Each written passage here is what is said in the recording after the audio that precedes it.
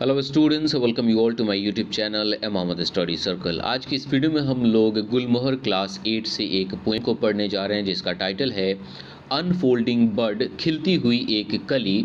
और इस पोइम के राइटर हैं, इस पोइम के ऑथर हैं, नाओशी कोरियामा। तो इससे पहले कि हम लोग इस पोइट्री को पढ़ें और इसे समझने की कोशिश करें, क्यों ना हम लोग हमारे ऑथर नाओशी कोरियामा के बारे में थोड़ा सा इन्फॉर्मेशन गैदर कर लें और फिर हम लोग अपनी पोइट्री पे वापस चले आएँगे तो ये रहा आपके पोएम के जस्ट नीचे एक छोटे से पैराग्राफ में हमारे ऑथर नाओशी कोरियामा के बारे में बताया गया है So Naoshi Koriyama is a Japanese poet who studied English literature in the United States and returned to teach in Japan. बताया गया है कि नाओशी कोरियामा एक जापानी पोएट हैं।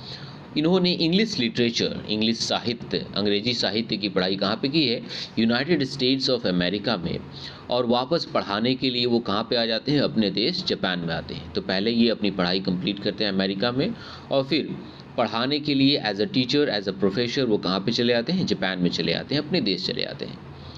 He began to write poems while he was away from home and went on to publish nine collections in English, besides three translated from Japanese बताया गया है कि उन्होंने लिखना तभी से शुरू कर दिया था जब वो घर से दूर थे, है ना? और फिर बाद में क्या हुआ? उन्होंने इंग्लिश पोइट्री के लगभग नाइन कलेक्शन को इन्होंने क्या किया?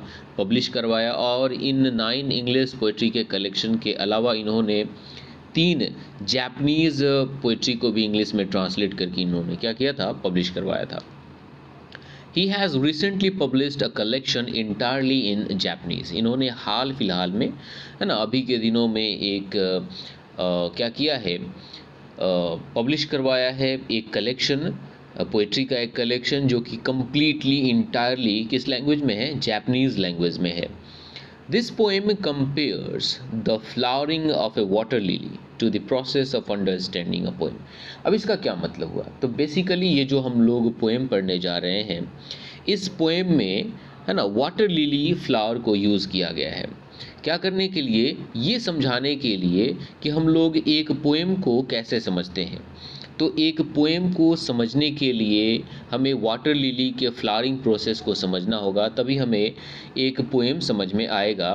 तो यहाँ पे वाटर लिली को एज अ मीडियम यूज़ किया गया है कि अगर हम लोग वाटर लिली के फ्लावरिंग प्रोसेस को समझ लेते हैं तो शायद हमें जब भी कोई पोएम पढ़ेंगे लोग तो उस पोएम की मीनिंग्स को समझना हमारे लिए क्या हो जाएगा?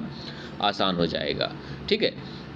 It is a simple poem but rich in meaning ये जो हमारा पोएम है वो काफ़ी सिंपल है काफ़ी साधारण सा है लेकिन इसका जो मीनिंग है वो काफ़ी रिच है है ना? रिच कहने का मतलब इन द सेंस कि इसके मीनिंग काफ़ी डीप है ठीक है? अब हम लोग आ जाते हैं हमारे पोएम पे। तो इस पोएम में टोटल कितने स्टेंजा हैं वन टू और थ्री टोटल थ्री स्टेंजाज हैं तो फ़र्स्ट स्टेंजा को हम लोग देखते हैं। फ़र्स्ट स्टेंजा क्या कहता है?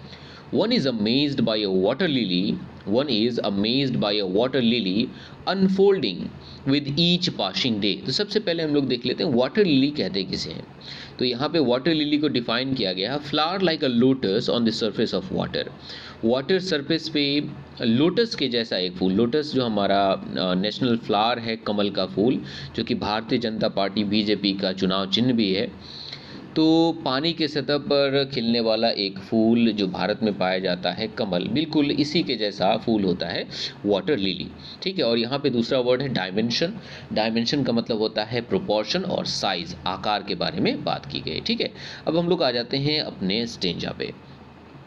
स्टेंजर कहता है कि one is amazed by a water lily unfolding with each passing day कि एक इंसान जब किसी वाटर लिली को देखता है, जो हर गुजरते दिन क्या करता है? अनफोल्ड हो रहा होता है। हर गुजरते दिन वो खिल रहा होता है और वो इंसान सरप्राइज़ क्यों हो जाता है? Taking on a richer colour and new dimension क्योंकि हर गुजरते दिन वो जो बर्ड होता है वाटर लिली का, उसमें शानदार कलर्स लगने लगते हैं, उसमें अच्छे अच्छे कलर्स लगने लगते हैं। और उसके जो डायमेंशन है, उसके जो साइज़ हैं, वो चेंज होने लगते हैं। पहले जो बर्ड होता है, वो छोटा सा होता है। लेकिन वहीं जब एक फ्लावर के रूप में डेवलप होता है तो उसका डायमेंशन थोड़ा सा लार्जर हो जाता है थोड़ा सा बड़ा हो जाता है। और उसके कलर काफ़ी ब्राइट एंड ब्यूटीफुल हो जाते हैं। उसी को यहाँ पे रिच कलर बताया गया है। आप अगर पिक्चर में देखो तो यही है वो लिलीज़ के फ्लावर और देख सकते हो कि ये कितने शानदार, कितने ब्यूटीफुल दिख रहे हैं। आपको यहाँ पे ये वाला काफ़ी शानदार दिख रहा होगा, ठीक है? ओके अब हम लोग आ जाते हैं अपने सेकेंड स्टेंजा पे। सेकेंड स्टेंजा में बताया गया है कि one is not amazed at a first glance by a poem क्या मतलब हुआ? कि अगर आप किसी पोइट्री को पढ़ते हो सपोज़ करो कि आपको एक पोइट्री दे दिया गया, एक पोइम दे दिया गया, कि इसे आप क्या कीजिए? पढ़िए और इसके अर्थ को समझाने की कोशिश कीजिए।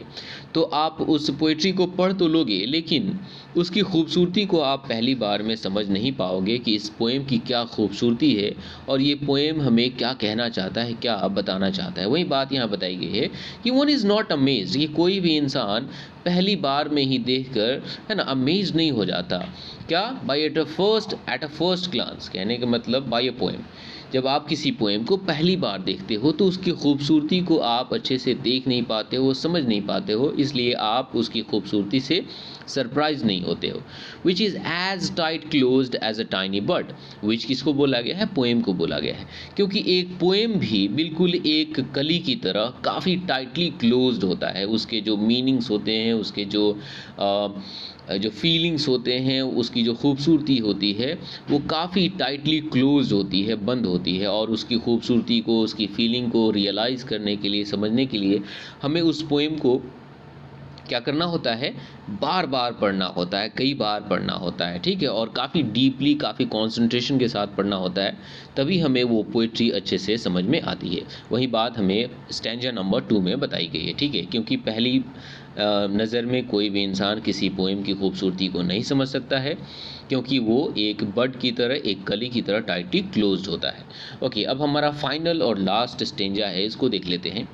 Yet one is surprise to see the poem gradually unfolding लेकिन हाँ वही इंसान सरप्राइज़ हो जाता है, ये देखकर कि जब पोएम क्या कर रहा होता है धीरे धीरे खुलकर सामने आ रहा होता है, जब उसको उस पोएम की मीनिंग समझ में आने लगती है, उस पोएम में जो फीलिंग हमारा ऑथर हमें बताना चाहता है, अपने फीलिंग्स को शेयर करना चाहता है और उस फीलिंग को जब हम लोग गेन करने लगते हैं रिसीव करने लगते हैं तो हम लोग क्या हो जाते हैं? सरप्राइज़ हो जाते हैं, वही बात बताई गई है कि yet one is surprise to see the poem gradually unfolding जब आप पोएम को बार बार, कई बार आप पढ़ोगे तो धीरे धीरे धीरे धीरे ग्रेजुअली आपको उस पोएम का सेंस समझ में आने लगता है और आप उसकी खूबसूरती को जान करके क्या हो जाते हो?